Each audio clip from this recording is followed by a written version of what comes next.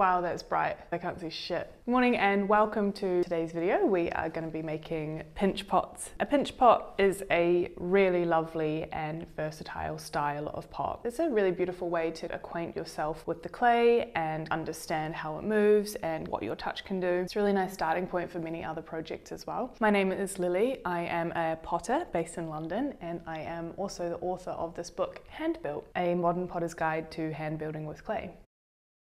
We're going to start with uh, a little bit of clay. Let's measure this actually. That's 200 on the money. Look at that. I don't know if you can see that. 200 grams. Right, we're going to start with 200 grams of clay, as I said, and that's kind of the amount that you can fit into your palm and um, just by putting your other palm over top. I have wedged this up and I also have a tiny little bit of clay left over, it's just sort of a pinch piece there, and we're going to use that later to put a foot ring on. You need a wooden knife tool, a pin tool, and you need a rib of some type. So I've got a rubber rib and I've got a metal rib here. You can use something like a bank card or an old library card, something like that. I also have this guy, a tool for putting in some texture. This is specifically for that, but you can use a loop tool or you can use the sharp part of this or whatever if you wanted to add texture as well. I also have some water and a sponge there. So we're going to start by batting your clay into a kind of spherical shape.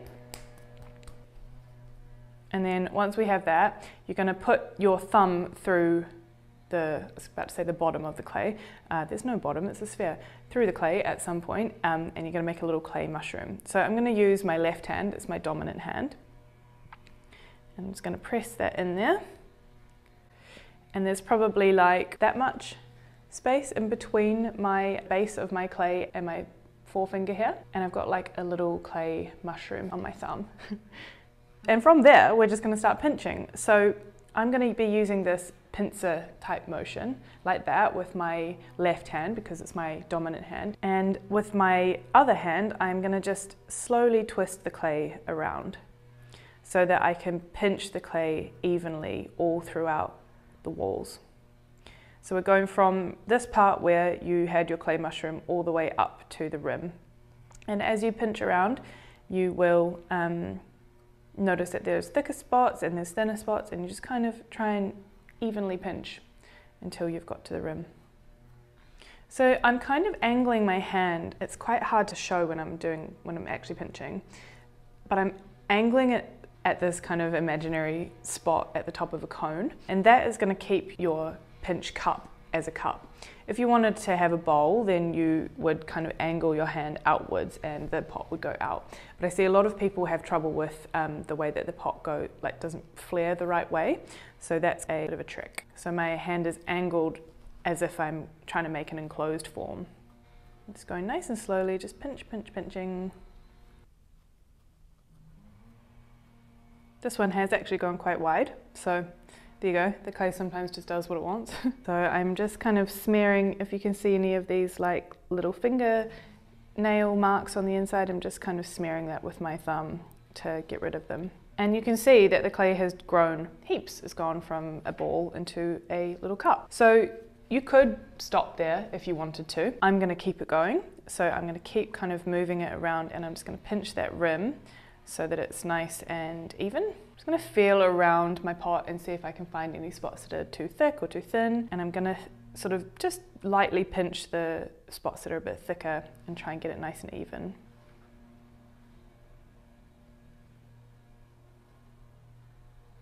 Once I am happy with my shape, I'm just gonna gently like boop it on the table here and that's gonna create a flat base for me. That's kind of it. You can stop there or you can kind of keep it going a wee bit. You can keep pinching and so the rim is nice and thin. If you have a really uneven rim, then you can take your pin tool and you can just kind of cut the rim off like this. I'll just do it for here to show you.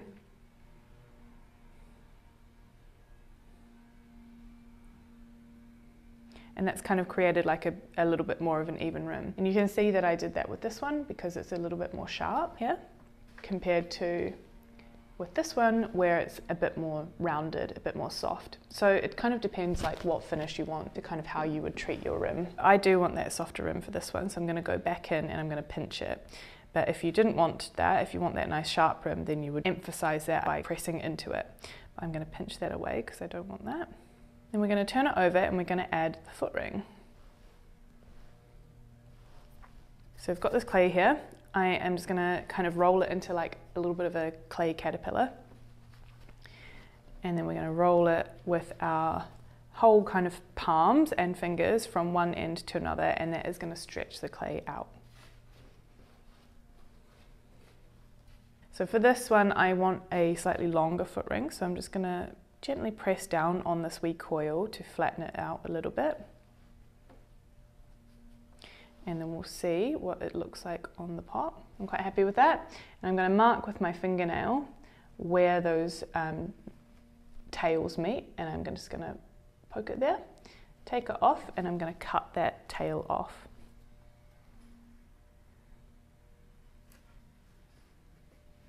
And I'll cut this one off too.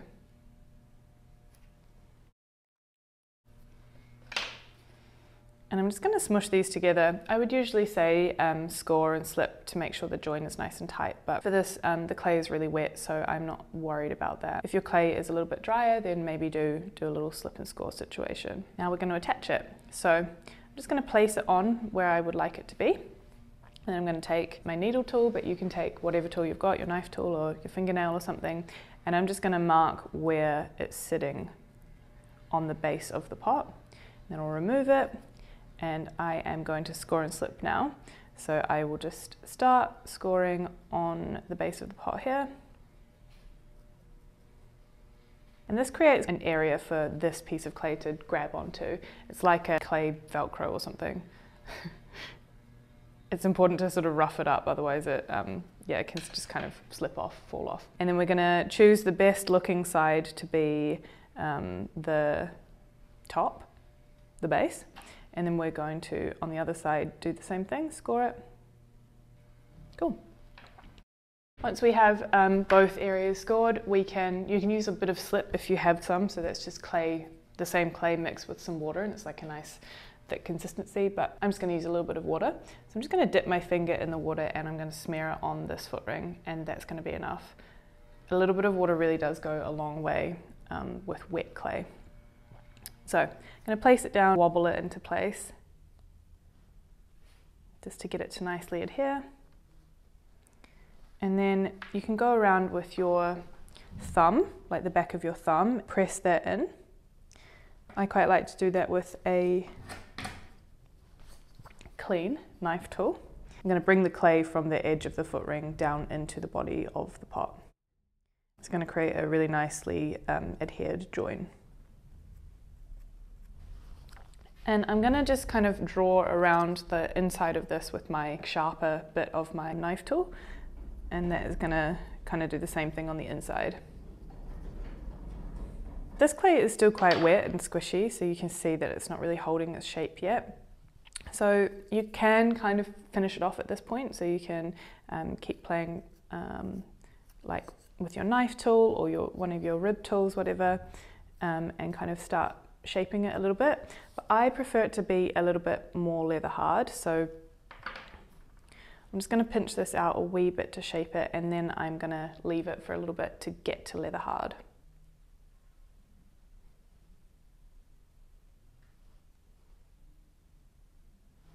this is where we're at. Um, it's a little bit squishy still, so let's leave it for half an hour, an hour or so, and um, we'll be ready for the next steps. Okay, we're back. So you can see it is much harder now. It's not kind of, it's a little bit like falling under its own weight, but it's definitely a lot more solid, a lot less squishy. So we can um, go through and like tidy it up essentially. So you can use your wooden knife tool again and you can just kind of like refine that foot ring a little bit.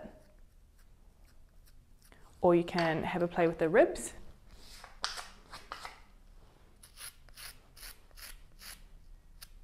So this is the metal rib and you can kind of like drag the clay and you can get rid of all your fingerprints. Um, so you can see the difference there between where I have done it and where I haven't. Or you could use your um, rubber kidney and do the same thing. That's a lot more soft.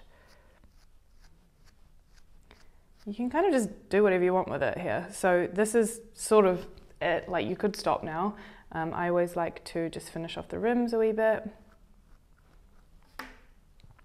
And maybe I will get rid of some of these like harsher bits of clay here. I quite like with a pinch pot um, and with like pretty much any hand building to leave some of the history of how you made it because it was made with your hands, you know. It is kind of nice to have little fingerprints or like marks where you pinched it or whatever. You don't necessarily want it to be perfect, perfect. You know, if you wanted something perfect, you could go to a shop and buy something that like a machine made. But we're not machines, you know, we're people. We be squeezing this clay and leaving little marks and it's quite nice. Just gonna go in around the foot ring and clean that up as well. Just a little bit, just to kind of refine it and keep it nice and neat.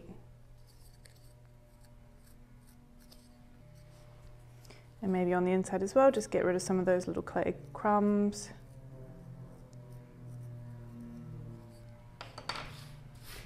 And then the very last thing that we're going to do is just go over with a sponge and kind of get rid of any of these um, harsher lines that have been left by the rib.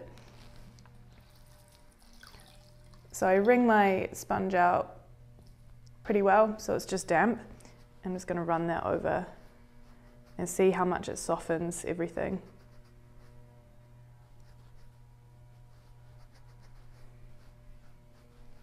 Mm, lovely. I love making pinch pots. It's so therapeutic.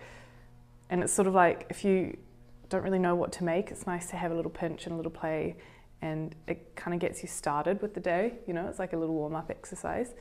Um, I had a friend who made a whole lot of pinch pots as little wine goblets for her 30th birthday party, and they were so cool. They were so effective. Um, and that's kind of what inspired me to make these in the book. Um, just, I remember the look of them, they were so, so sweet. And let's just clean up the rim as well, and then we're kind of done. So adding texture, if you wanted to, um, obviously I've left this one quite bare, it's quite plain. Um, and then maybe I'll decorate it with some glaze or um, just kind of keep it as is. But I have this other one here which I had to play with um, this tool and I you can sort of like carve into it. This is leather hard as well. And then just clean up those marks again with the sponge, just to soften everything.